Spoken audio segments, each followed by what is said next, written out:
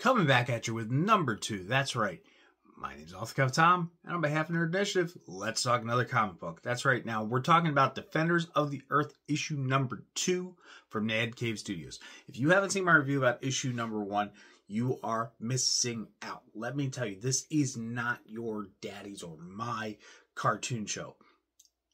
I, by the time I've gotten issue two, the theme song is completely out of my head. This is very much a huge departure and change as far as story is going. Now, that story is written by Dan DiDio. We know him for years, all kinds of stuff. The artist is Jay Calafiore. Uh, Guancho is the colorist, and Carlos M. Mangual is the letterer.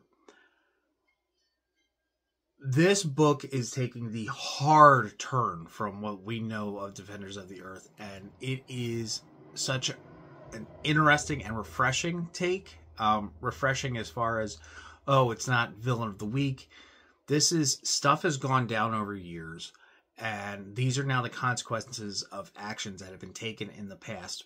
Obviously, after the show, between the comic, which you can check out, there is an issue zero um, that is hidden in issue one on a QR code, and you have to go and scan it and read it. I believe I talked about this before, but trust me, this is going to be such a great book.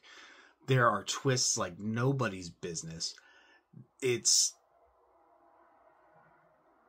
such a great uh, it really is just a great take to see how time has now caught up with you know flash and the phantom and mandrake and Lothar and even the kids they're all grown up too now. So we have to deal with them being adults in this world with everything that else is going on including flash's stepbrother or half brother for mongo. Issue 2 so many things have been covered and I can't wait to see where this goes. I'm not sure if this book is on a limited run or if this is just going to be an ongoing.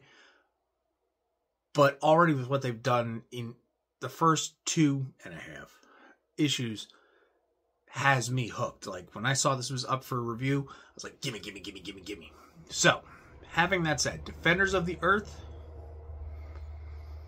because the story's going so well, because the art is so good, because of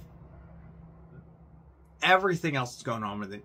Easy, simple, not a problem to say this one. 8.5 out of 10.